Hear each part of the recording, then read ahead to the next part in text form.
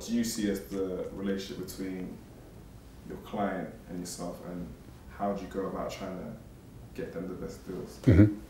I think ultimately what's important if you're in any of the, the media fields, including music, it's having a good relationship with your lawyer um, because your lawyer is the one that's going to have your back. Um, of course, it's important that you, you get that trust and you build up that relationship because when those contracts come, you've got to be able to trust that lawyer that they've got their best interest for you. And, and yeah, no matter whoever you're dealing with, whether it be a small little company or a big multi-billion pound company, they're going to try and get the best deal for you.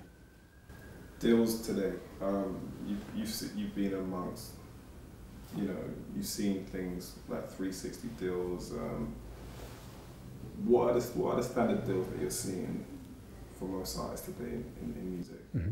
It, it's a variety of things. I mean, you mentioned it previously. Um, there are 360 deals out there.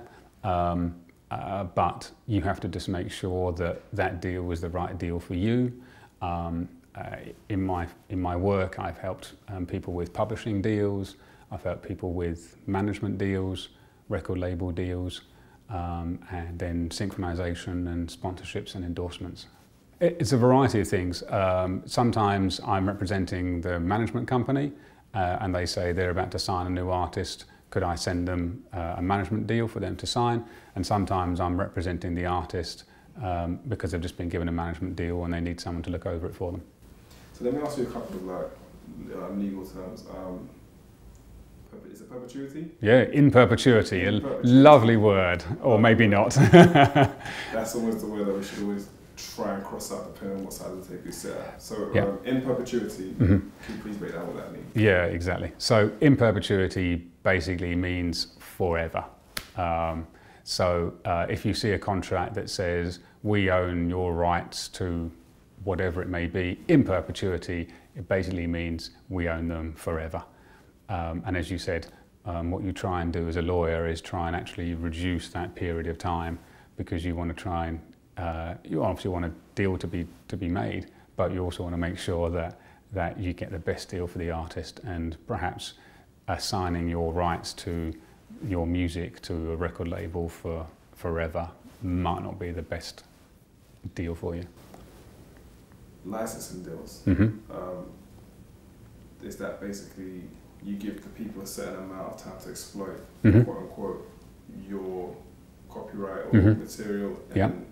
It comes back to you at a certain point. That's right. I mean, um, uh, to, to, to bore everyone, sort of copyright 101 lesson, um, you can either um, uh, assign your copyright, which means you're, you're giving it to somebody for forever, or you can license your copyright. And so ideally what you try and do is you license your copyright for somebody for a fixed period of time, obviously for a certain amount of money, and that way you know there'll come a time when actually the copyright that you've, you've given will come back to you and if that deal wasn't a good deal, you can go to someone else. If it was a good deal, you can then renegotiate it and hopefully get even better deal. With that being said, it's in the label's interest to assign permanently because that then goes on their books as an asset that they can bank. Um, what is the actual benefit for a label to license? Does it mean that the artists have leverage point?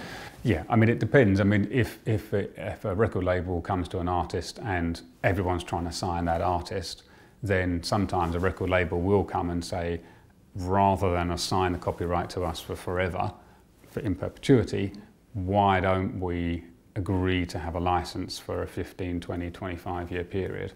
Um, and, uh, and the artist might say, well, okay, you know, uh, rather than me having to assign my rights to you for forever, I can probably work with that.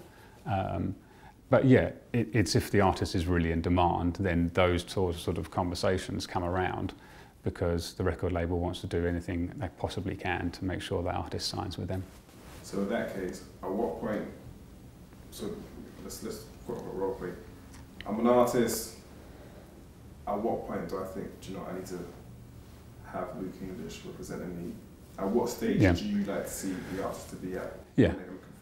Well, I mean, yeah, no.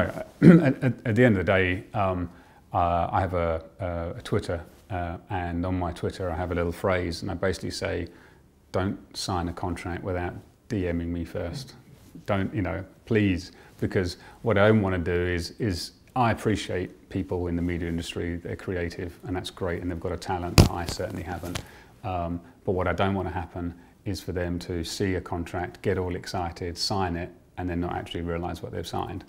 Uh, unfortunately, there are instances where people come to me and say, I signed this contract, can you look over it for me now? And I'm like, no, I can't because you've signed it. You know, we can try and renegotiate it, but, you know, depends on who you're dealing with. They might say, well, you signed it, you agreed it. Um, so I always ask people, look, if you've been given a contract, then, then get in contact with me um, and let's go through it and let's just make sure that it can be the best it can be for you uh, and that, to be frank, you, you don't get conned. Because um, unfortunately, um, in the media industry, there are companies out there and people out there that want to exploit you and take away everything you've got. And that's not very nice. I'm not saying it's a majority, but there are some people out there. What does a bad deal look like? I don't know. yeah. spoke about that one um, previously before because, you know, some people feel like, well, I've got a deal, I'm going to get an advance. Mm-hmm. Um, but what does a bad deal actually look like?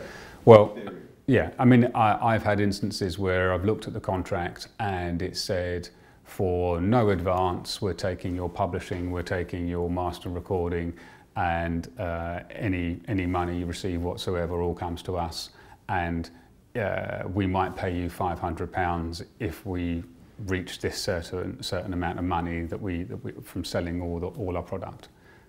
That to me is not a good deal. Um, but um, that's literally like a yeah. blank piece of paper. Yeah. let's just see what we can get away with. Yeah. And see if it comes back with it yeah. not being taken off. Exactly. Um, so it's basically we want all your rights for everything. We're not going to give you anything in exchange, and it's almost like you just sold, sold your soul to the devil. Uh, and when you know, I see contracts like that, it's horrible because there are people out there that would have not got a lawyer or not got an advisor to look over it and signed it and thought, yeah, this is brilliant, but actually it's not. You've just got to sign your life away. The lawyers obviously they protect the interest of the client or the company, mm-hmm. or depending on which side of the table you're seated. Mm. So when you come into the picture and you see that contract and you give the advice to your client, mm-hmm. and they're like, okay, like go ahead, do your thing, renegotiate. Mm-hmm. Does the other side know that okay, now they got a solicitor on their mm-hmm. side that is literally about not what can we get away with, but mm-hmm. we're not going to get away with what we initially thought we could. Yeah, uh, I mean, at the end of the day, um, one would hope that if you're instructing a solicitor that's competent in those types of contracts, and they then send back that contract marked up or amended, then when the other company receives it, they're going to go, whoa, we probably aren't going to get away with what we thought we are going to get away with now. Um, and sometimes I advise clients, you know, it's entirely their decision, but if they want to walk away, then walk away. If, if the product they're producing is good enough, then they don't necessarily have to sign the first contract that lands on, you know, on their desk. Uh, and if it's the not right deal, then, then have the strength in what you produce to be able to say, no, thank you, but I'm not accepting this. I will wait. Um, and if I'm good enough, then other contracts will come that will be the right contract with the right people. Because my experience is it's all about relationships. And if you're going to have a relationship with a record label or with a manager, you've got to be happy with that relationship from the very beginning. And if there's things that you're not comfortable with whilst we're negotiating those contracts, then maybe alarm bells are ringing and it's time for you to actually say, well, thank you for the contract, but I don't think this is going to work out long term because these are all long term contracts. You know, management deals can be can be two years, but they can also be eight, ten years. Let's just talk about let's yeah. talk about um, management contracts and sunset clauses mm-hmm. and how that fits into place with yeah. an artist. Yeah. Okay. So um, as I said, uh, let's pretend a management company has approached an artist that I'm representing. Um, one of the things I look at is right, how long is this contract for? Um, how long is the term for? Um, is it a two-year term, three-year term, five-year term? And then, as you mentioned, there's something called a sunset clause. So the term might only be, say, three years, but there'll be a period of time when it's expired where the manager continues to receive his commission or her commission. Um, And basically, their understanding of this is well, if I'm helping to build up you and your brand for, say, three years, um, you might not have broken and become a multi selling platinum artist yet, but I've helped you to get from this stage to another stage. Uh, and because of that, um, I think I'm entitled to some monies even when the contract's finished for all the work that I've done, all the contracts that I've brought in. Um, and that's, that's standard in a, in a management deal. Obviously, what you need to negotiate is how long a period of time after the contract's expired do you allow them to receive, to make it up, a 10% commission or a 5% commission for. In reference to that, have you ever seen the sunset clause be ridiculously long and a high percentage? Because I mean, I know it's a thing that people shouldn't be worried about. Like, mm-hmm. if we part ways, we still got to work, quote unquote, this notice. Mm. But at what point do you think that that's actually going too far? Mm. Well, um, uh, one of my clients came to me um, and uh, I'm afraid it was that horrible situation where they'd already signed the contract, so we, we didn't have a relationship beforehand. Um, and uh, she informed me that her management contract had a sunset clause for 25 years. Now, I, haven't actually seen the contract myself, but that's got to be the longest sunset clause I've ever seen. it's crazy. Well, well, that's that's a supports 25 years. Um, when does a manager, because this is the, I'm trying to get the dynamics, because I want people to understand that they need a lawyer, mm-hmm. no matter which um, part you at. Um, when does a management deal almost mesh into actually a production deal. Because sometimes mm-hmm. you look at the managers investing financially, mm-hmm. putting money in, mm-hmm. booking studio sessions. These aren't, in theory, the things that a manager is supposed to do. I think yeah. you're supposed to manage the career and guide it with expertise. But once yeah. you start putting money in your pocket and mm-hmm. start financing it, mm-hmm. Does that now move it more so into a production deal mm-hmm. where it may be more of a 40%? Mm-hmm. That's a very good question. I mean, I think uh, I think it's worth thinking that uh, what is this management deal going to be? Sometimes, as you said, it could be your standard management deal that for a 20% commission, they manage you and they, they help you to be able to, to get gigs, to, to, uh, to get radio pluggers, to get you across record labels so people will start getting interested in raising your profile. Some of them, as you said, um, like to take artists that are at the very early stages and they like to develop them like to actually put their money in their pocket and pay for studio sessions, pay for producers, uh, and build up the artist because they see some potential there, but the potential is not really yet to go to a record label. Now, in those instances, as you said, I would be looking at the clauses to say, well, it's highly unlikely this is just going to be a bog standard 20% commission.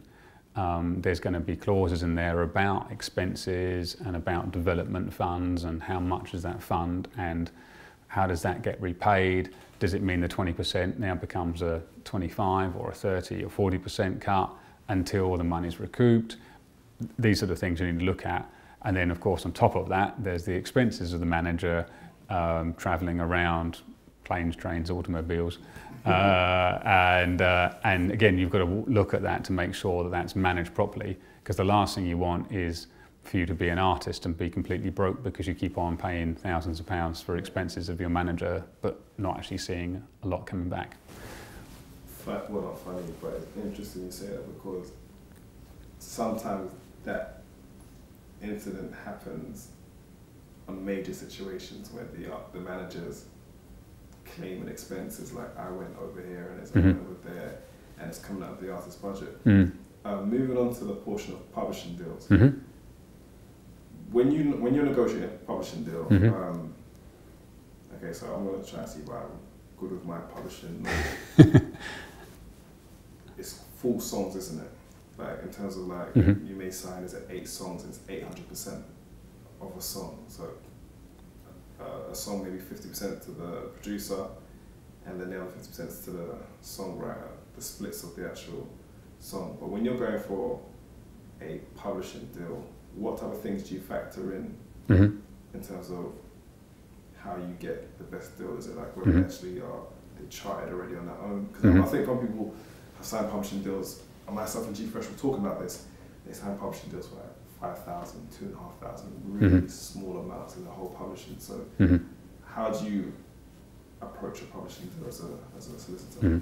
I think there's lots of elements that you've got to look at. Um, to be frank, there's kind of a bulk standard list of splits about, you know, if, if we sell this, this is the splits you're going to get. So we're talking about mechanicals, um, not so common these days, but you're talking about print, which is actually um, your music in a songbook being sold in a music shop. Um, and obviously the key, the biggest one that everyone really wants to concentrate on is synchronizations because you need to make sure that when you sign to a publisher, that the publisher is going to try and push your music as much as possible because, to be frank, the money is in the synchronization. So if you can get your music on an advert for a very popular car company, brilliant. Um, but it's obviously making sure that those, those splits are in your favour so that if they do do their work and they're able to get you that, and then there's some good money in that, then it's not all taken away from you. Um, but yeah, you're right. You've got to look at well, if they're paying me in advance, is this advance, you know, does that work for the length of period of time that I'm giving you them the publishing rights? Um, sometimes, as we mentioned already, a, publish, a publishing deal could be will we own the rights in perpetuity? Uh, is that in your best interest? That's the question. Um, is it more actually let's reduce that? Um, now we appreciate that you've got to work and you've got to push out that music and you've got to make some money um, and you've got to try and recoup the advances, but you've just got to make sure that again it's the right deal and at the right splits, um, and that there's nothing that they've accidentally forgot to put in the splits. Auditing, Mm-hmm. Um, that's an artist's right to audit Mhm. a company. What's your take on Yeah. auditing? And also, do people audit publishers as well? Yeah, exactly. I mean, I expect in any um, uh, in any uh, contract, whether it's in television, film, or um, music or theatre, if, if it's with a, a big company where they're collecting monies on your behalf, it's important that you have an auditing clause. Um, and I, kind of the standard one is that you're allowed to audit them um, once every 12 months. Um, now, the extras, which I always try and put in, is well, what happens actually if there's an underpayment? Um, so actually, if you owe me money, what happens next? Um, some people say, well, if there's an underpayment, we'll just pay you, but it doesn't say when. So you need to find out, right, when am I going to get paid? I'm not actually going to want to wait till the next quarter or semi, whatever it may be, when my when the payment terms are due. If you owe me some money, you pay me the money now, um, and then you might want to think about, well, what about interest? You know, if it's an insubstantial amount of money, it's been in your bank account, not my bank account. And I appreciate interest rates are low at the moment, and it's nothing of nothing, but still, it should have been with me, not with you. So why don't you pay me interest on the money that you owe me? And then the other thing is, um, if I've gone and paid out money to get an auditor to audit it because I thought that I was owed some money and I was right, then actually I think as compensation you should pay for my auditing costs. Pay for legal costs. Yeah, um, so it's important. Again, these sort of things you aren't, aren't often standard in a clause, but you add them in to get value. But I also think it's just making sure that a publishing company, a record label, whoever you're dealing with, is transparent. And it's quite clear, look guys, you know, we, we don't want to make don't want anyone to make any mistakes, but if we do audit you and you do owe me some money, then just pay up the money and give us a bit of compensation because that shouldn't shouldn't be the case. I shouldn't have to audit you and you should pay me when I when I should be paid. So just trying to be transparent with it.